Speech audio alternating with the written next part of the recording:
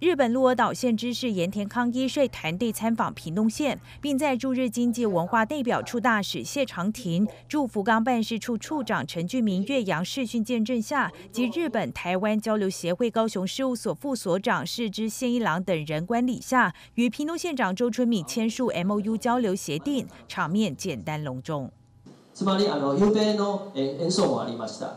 在仪式完成后，周春米特别准备印有盐田知识人像的恒春月琴相赠，盐田知识也回赠鹿儿岛传统工艺及金菊礼品作为地盟纪念品。双方期待未来在教育、观光、农业等各领域更进一步合作，深化台日友好情谊，共荣共好。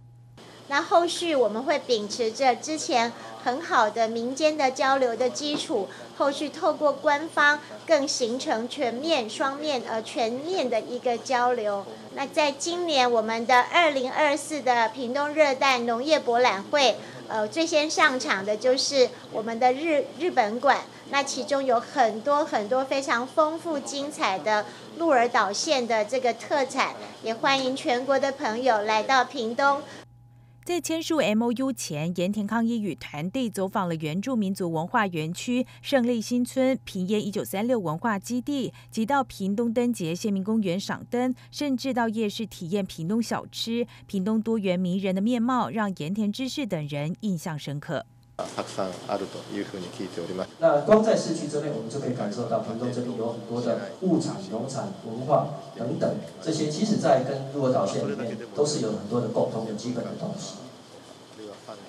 那在于今后也有关，就是在交流彼此交流方面，希望能够透过这次 M O U 的一个缔结，彼此在不管在农产品、水产品等等文化方面，或者甚至在比如说青少年之间的彼此一个教育的交流，还有观光等等。多方面的一个交流更深化。